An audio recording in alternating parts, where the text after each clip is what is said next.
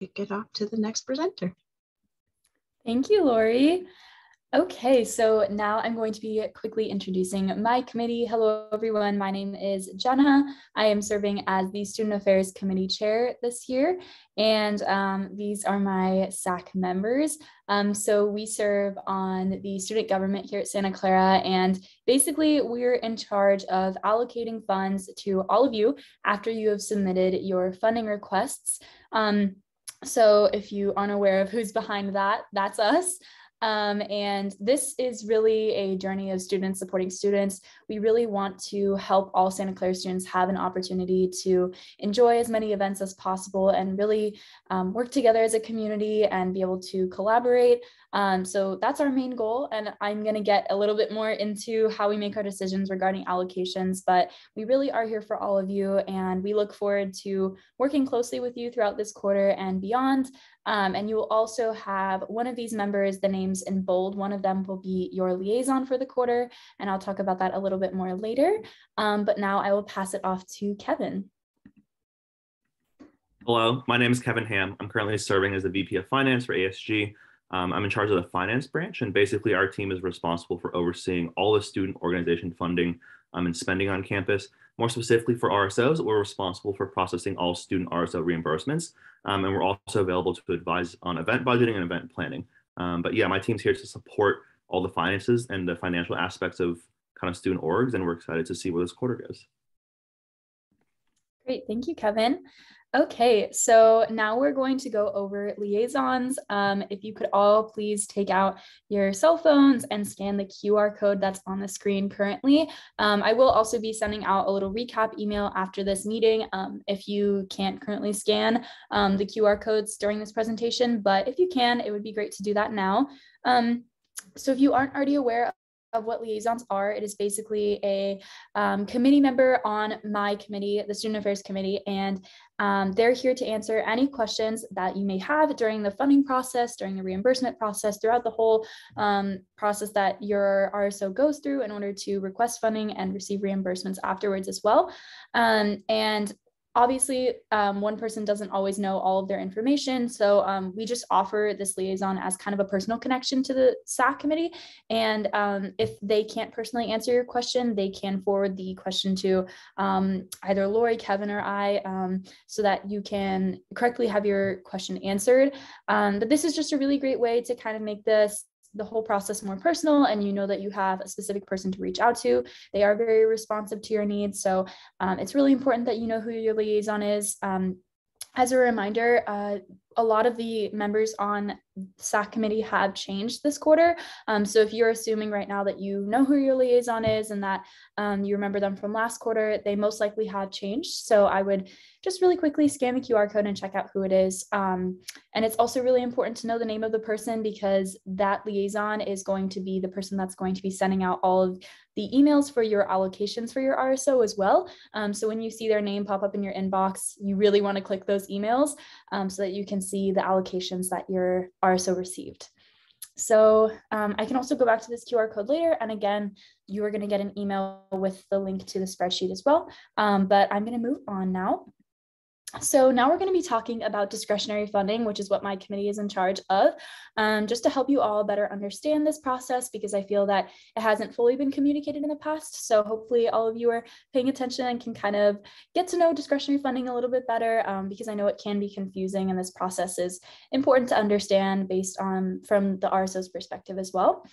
So first off, I'm just going to quickly explain what discretionary funding is. Um, so the SAC discretionary funds that we have is also described as supplemental funding. And what we mean by that is that the SAC funds that we have can only cover a part of any of your events expenses they're not meant to cover the entire expense of any of your events or apparel or supplies or anything like that. Um, this has always been meant to be supplemental to other sources of funding that you may have. Um, and we'll talk about that more later on, but some of those may be fundraisers or event tickets. And um, when you request allocations, this is going to be done in the beginning of the quarter. And if you've been here for a while and been requesting money from um, SAC for a while, you may know that it used to be on a rolling basis where you could request throughout the quarter.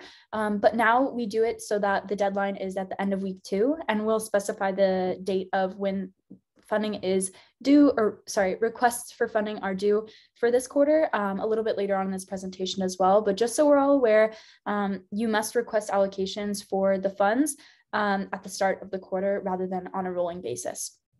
And um, the requests are fielded through the SAC discretionary funding form, which is another Google form that you're going to be um, probably getting pretty comfortable with during this quarter. Basically, what you do is you submit your request through that form and then we will look at your requests through there.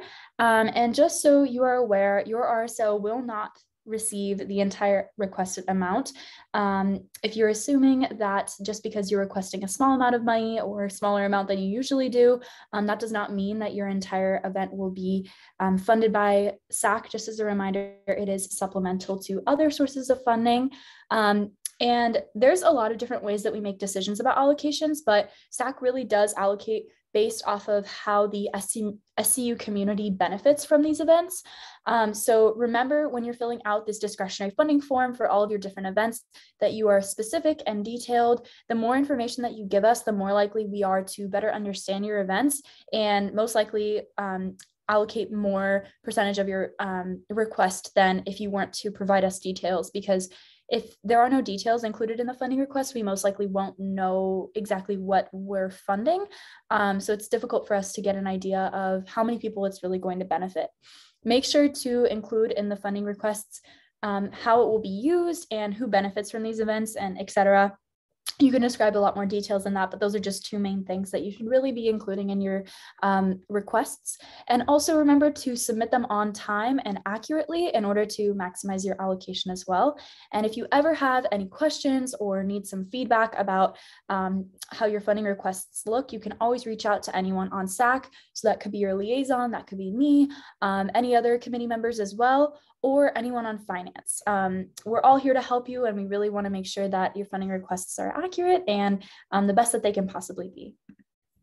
Um, okay, so here's a really important deadline. If you have, um, you can write this down on a piece of paper or put it in your calendar, but just so we're all aware, the deadline for funding requests this quarter is going to be the Sunday of week two, as always, and that is January 16th. And they're going to be due at 5 p.m. Um, in the past, this has been fairly lenient um, in terms of the deadline. People have been able to kind of submit their requests a little bit later than this, but I am just letting all of you know that this deadline is going to be um, a hard deadline and really do try to get in these funding requests by January 16th at 5 p.m. Okay, so um, there's a lot of stuff that happens after you initially submit your discretionary funding form, um, and you may not be aware of those steps. So I'm just going to quickly go through those so that we're all on the same page and you're all aware of the different things that happen. Um, so first, once you submit your discretionary funding request form, let's say you do that before the end of week two, that's all good. Um, the SAC members will then review each of the requests and distribute funds. Um, so you may be assuming that when you receive your allocation, that has been um, we have just recently reviewed your request, but in reality, we like to send out all of our allocations all at once, just so it it kind of is an organized system and everyone receives their allocations. Um, but we are really working hard right after um, any of the discretionary funding requests have been submitted. Um, we meet many times each week to uh, really figure out what we would like to allocate um, to each of the RSOs. So it's a big job for us, but we do work really hard for all of you um, in order to get your allocations back as soon as possible. And then once we've made all of our decisions and all the allocations have been made, um, you will then receive an email from your SAC liaison detailing the allocation amount for each of your requests. This may come in one email or it may come in several different emails depending on how many events um, you requested funding for. Um, and then once you receive your allocation, you can then spend that amount in accordance with the CSI guidelines, making sure that you're doing that, also being responsible within the COVID guidelines as well. And then once you spend that money, you will then submit a reimbursement request. So while you're doing this, be responsible in submitting your funding request. So we really ask that you plan out your event beforehand. Um, don't make rough estimates because it's really important to realize that um, SAC only has a certain amount of money, and we really want to fund as many events as possible. And if you're giving a way higher number than you really need for your event, um, it's unfair to other RSOs that are really putting in the time and effort to research the vendors and the past expenses and expected attendance for their events. So, really do try to research these things and get the most accurate number as possible um, when submitting your funding requests. And also, just so we all know, um, if you ever hear someone mention an NOL, that actually stands for Notice of Legislation. And what that includes is the allocation that you will receive. So it basically details the allocated funding that SAC has decided for that specific event request and also how it can be spent. So a little bit more of the details, maybe it's for supplies or for apparel. Um, you'll see that within your NOL. And in the liaison's email, um, each of these emails will include the events NOL. So as I just described, the allocation, and then a link to the CSI event spending and COVID guidelines, just so like it's an easy access um, to find out how you can really spend this money. And lastly, we're also going to be including a reimbursement guide um, just to help you understand how to receive your money after you spend the amount that um, has been allocated to you. And really quickly, I just wanted to go through a kind of an outline of a step-by-step guide of funding if you're looking to request funding this quarter and then also receive your reimbursements, kind of what to do and the steps um, consequently for each of the different things that you have to do in order to um, complete this process correctly. So the step number one in order to request funding and receive reimbursements is attend the RSO training. So you're completing this right now, which is great. Thank you all for coming. I know it's week one. I know we all have a lot of stuff on our plate this week, but it's really important that you're taking the time to do this. Um, so once RSO training is complete, you will then fill out the completion Google form and the feedback form. So these are two separate Google forms that will be at the end of this presentation in the form of QR codes. And again, I will be sending recap emails um, after this RSO training, which will have the links as well. So if you can't currently scan the QR codes, don't worry. Um, and then three, once you have filled out these completion forms and the feedback form, you can then plan out your events for the quarter, including all of the details that I described earlier, including um, the funds required for each of these events. So once everything is planned out, you have all of the different details included. Um, you are then going to fill out the discretionary funding Google form for each of the events that you plan. Um, but we do want to stress this quarter that if you do have any reoccurring events, you do not have to fill out a separate Google form for each of those. And then once you submit each of those discretionary funding Google Forms, you can then contact your liaison with any questions regarding funding. Um, you can also reach out to anyone on finance. There's a lot of people here to help you. Um, so obviously liaison is the first person you go to, but they can also direct you to others to answer your question more properly. And then number six, um, once you are spending money and you've received your allocation, you will then save your physical receipts. Kevin will kind of touch on this a little bit later, um, but it's really important to save them in order to prove that you've purchased. Um, and it'll help with the reimbursement process later on. And then um, once you've purchased everything for your event, you will then fill out and submit the reimbursement form either in person or over email when it's over $200. And last step is receiving your reimbursement, which will either be in the Locatelli Center when it's under $200 or through direct deposit when it's over $200. And these is, the, sorry, this is just a simple little list of um, things that RSOs can request and things that RSOs cannot request funding for. Um, so it's really important that you remember that RSOs cannot request funding for Airbnbs and gift cards. Um, so remember that. Just keep that in your head. You'll know why later, but RSOs cannot request funding for Airbnbs and gift cards. Um, this list is subject to change with COVID and everything going on. So um, this is the current guidelines, but it could also change, just so you know. Um, but yeah, make sure to remember those two things that you cannot request funding for currently. And I know um, there's not many things that are free anymore, but these are a few re free resources that we found for all of you to utilize if you wanted to quickly take a picture or write a few down, whatever. Um, but this is just an easy way to allow RSOs to have a few different resources if you can't necessarily spend the extra money or um, if you didn't receive the entire allocation amount that you wanted or looked for, um, then these are some really great free resources, for all of you. And I will also be sending out these slides again in the recap email. So if you want to check back on this, I will definitely have that. Um, okay, and then quick reminders about funding. The SAC fund has a total of $92,500 for all of the RSOs for the entire year. That's our big number. Um, and just within fall quarter, SAC received $92,897 worth of requests. So that is more than our entire year's budget. And we were only able to allocate $30,830.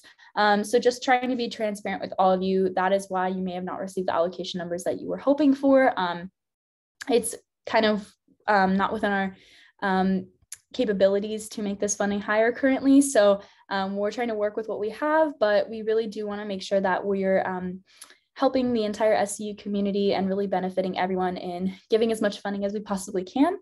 Um, so remember with that um, huge number of requests that we have and the small number of funding that we have to be responsible in using your SAC funding, really do try to utilize it well um, and responsibly.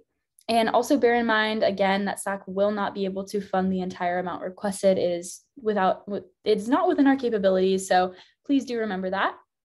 And um, you also want to submit reoccurring events as one request. So if you have any weekly meetings that um, maybe you need certain supplies for every week that cost $50 each week, instead of submitting 10 different requests for your 10 different weekly meetings, you can submit one big request um, and it makes it easier on both the RSO and SAC to just receive one request. Um, and then uh, when you can find other sources of funding for your RSO activities as well, um, some of which may be fundraising. This is a really great way to um, receive more funding. I'm sorry about that. Uh, that's a really great way to see receive um, more funding. You can also sell event tickets if it's open to the SCU community. You can charge a small fee to enter your event. Um, or you could also charge small club dues if you have a lot of members and you just ask for a small $5 um, due in the beginning of the quarter. It can really be helpful to provide a little bit more funding for the quarter. Um, and SAC or finance can also help in securing other funding, so you can always reach out to us as well. And as always, if you have any questions, please do reach out to your SAC liaison first, and then if they can't answer anything, they will also direct you to someone who can. Okay, and this is something a little bit different for this quarter. Um, we're uh, offering a alternative funding option to all of you.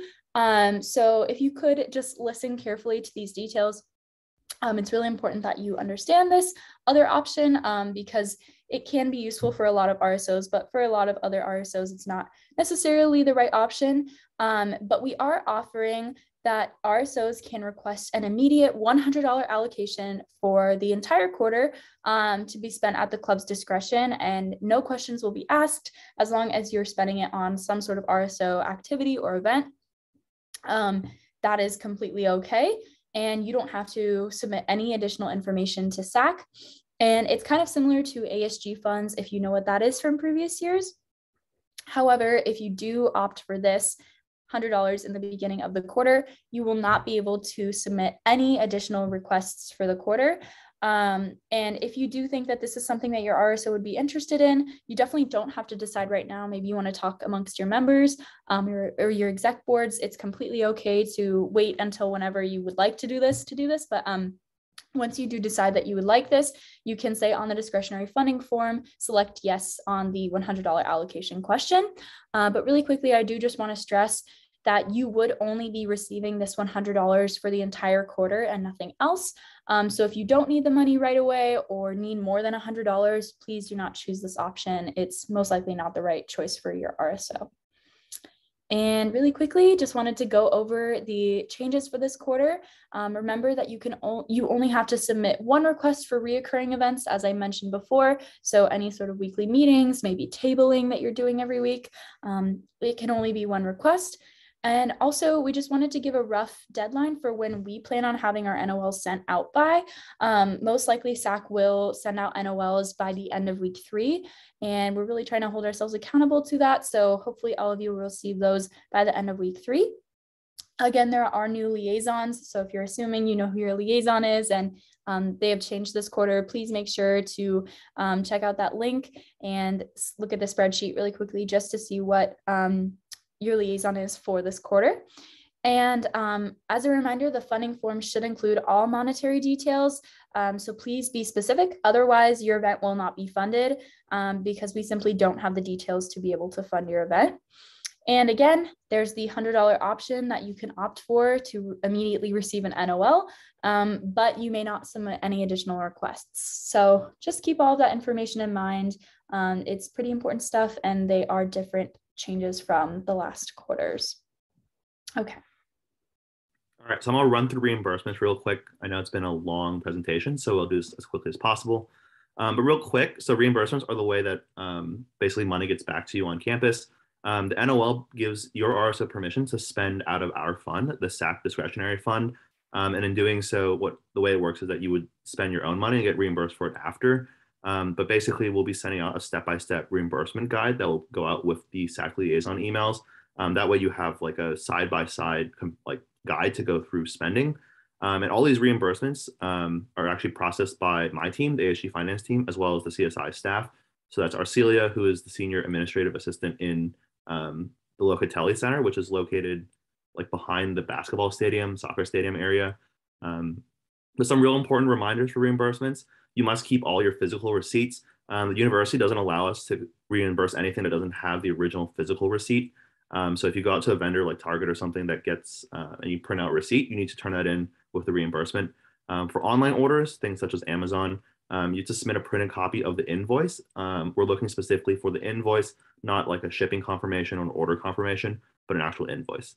Um, and then when submitting your reimbursement requests, um, any physical reimbursement requests, which are forms that are have to be filled out if the reimbursement is under $200, um, those forms go to the upstairs of Locatelli Center. Um, if the reimbursement is over $200, it gets emailed to me.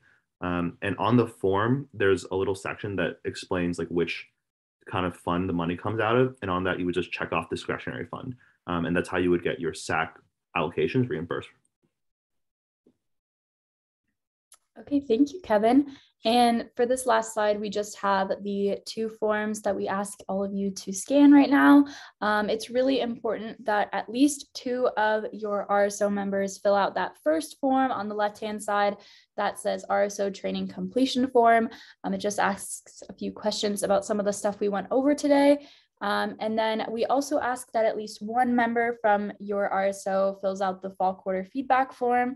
Um, if you've already done so, that's perfectly fine. We, we sent it out in um, early or late November, I believe. It was right before Thanksgiving break. So if you've already filled that out, that's totally great.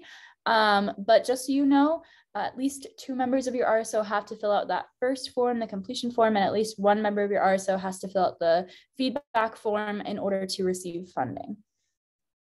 Okay, so at this point, we're done with content for this presentation, but if anyone has any questions um, that they would like to ask us, you can either raise your hand or put it in the chat. Um, but yeah, please continue to fill out these forms. And also I will, again, if you can't scan right now, I also will be sending out a feedback form, or sorry, not a feedback form, a recap email at the at the end of all of this so that you can have all this information um, and also receive these forms in link form instead of QR code form. So ask away if you'd like. Yeah, go ahead. Um, hi, so I have a question about the recurring um, form, like recurring payments kind of thing. So let's say like we have a meeting every week and we spend like 20 bucks a week on that um, would we have to submit a request for all the total um, recurring meetings or what like how would we go about that? Yeah so if you have um, any reoccurring meetings you can simply state in your funding request that um, for the description you can just say weekly meetings and then um, in the details kind of put what supplies you're going to need for all of those weekly meetings um, and in the discretionary funding form, you'll see that there's an option for reoccurring events to just state the first date of um, your events. So you can basically just put all of the supplies that you're going to need for all your weekly meetings and put that big number at the end. Okay, got it. Thank you. Yeah, of course.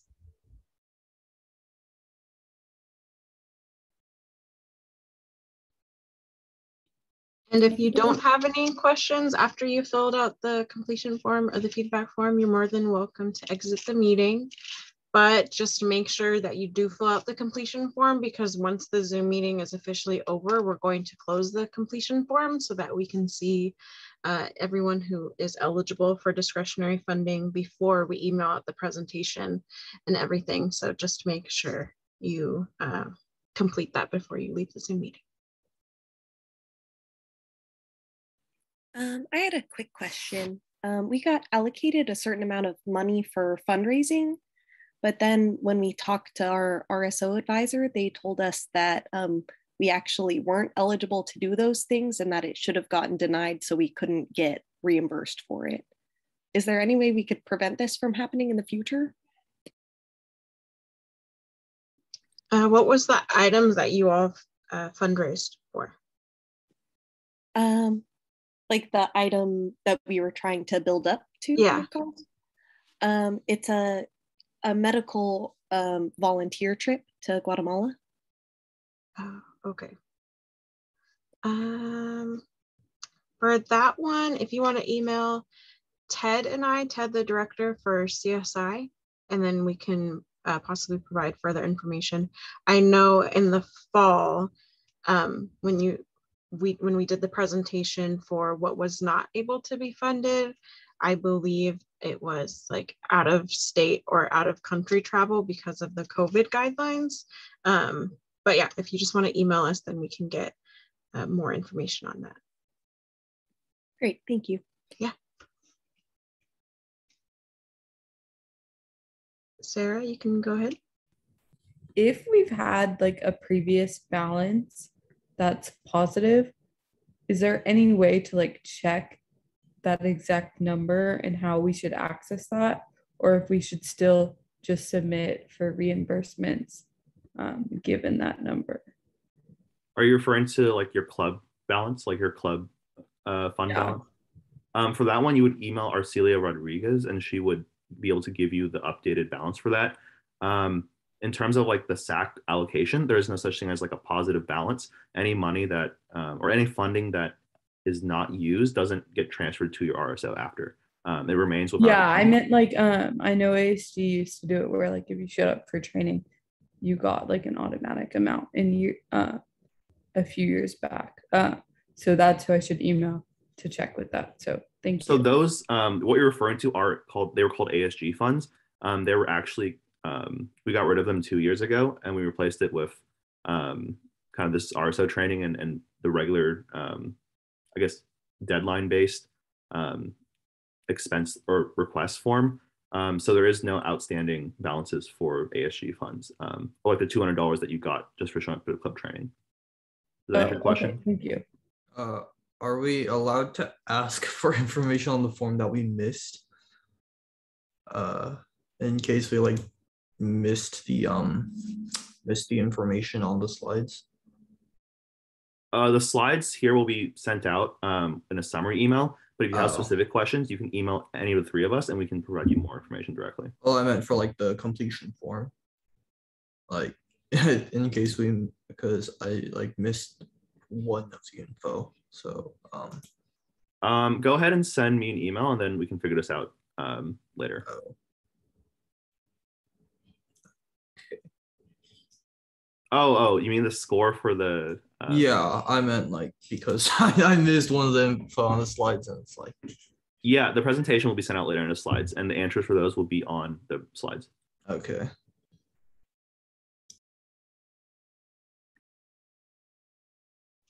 I know there are uh, some people that have been filling out the form that got the date wrong for when discretionary funds are due. So anyone in the current meeting, if you know the answer, feel free to raise your hand and remind others. We do want to make sure you don't miss the deadline, or you can put it in the chat. We won't give you the answer because we already gave it, but we want to see if anyone else is paying attention to when the deadline is. Sunday, week two. What time? 5 p.m. Awesome. Okay, I love seeing all the answers in the chat. Yes, so 5 p.m. Uh, the reason why it is that so that um, the next time that SAC will meet during um, they'll be able to go through if there's any questions or anything like that. It'll just it just helps us with effic- efficiency other than making it midnight and then we really only have one day before our next meeting or whatever the next meeting may be, especially for the ones that are applying for the hundred dollar funding. Uh, we're able to prep in advance for that and be able to send things out sooner. So that's why 5 p.m. Go ahead. Just to clarify further, it's Sunday week two. That's the 16th, right? Not the 9th. Gotcha. Thank you. Yep. Yeah, go ahead. Oh, for the end of quarter feedback form, is that due like right as the meeting ends, or can I have time to like fill that out? Um, I know that one does take some time, especially if you want to um, include a lot of detail in your answers. Um, so it'd be okay to um, take a little bit longer to answer that that feedback form. Yeah. Okay. And only one person from your RSO, as a reminder, um, needs to fill that out. But if you have multiple members that want to give that feedback, I think the more feedback is the best right now um, as we plan going forward and everything. So if you think it'd be helpful for other members to fill it out, but we're, we're only going to check if at least one RSO filled out. I mean, one member per RSO.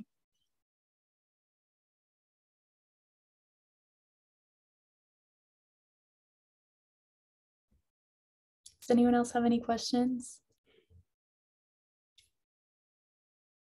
I got a I got a quick question on the, the form. Is when it says um, how many weekly meetings slash events does your RSO RSO hold? Does that refer to like the total number throughout the semester or like the number per week? It'd be the number per week. So let's say you had a general meeting and then a workshop, it would be two per week. Does that make sense? Yeah, that makes sense. Thank you.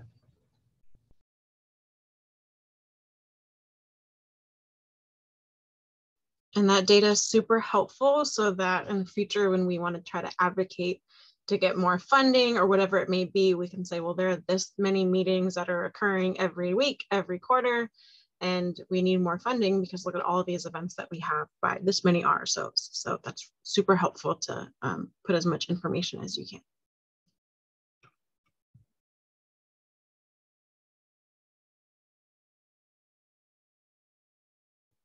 If there are no other questions, feel free to go. If there's anyone that just wants to ask a quick question that's more specific to your RSO, you can uh, wait until majority have left. But thank you all so much. And thank you to Jenna and Kevin. I appreciate you both so much. And uh, anyone else, just email us, chat us, anything that you need, and we'll, we'll help you out. Thank you guys. Thank you.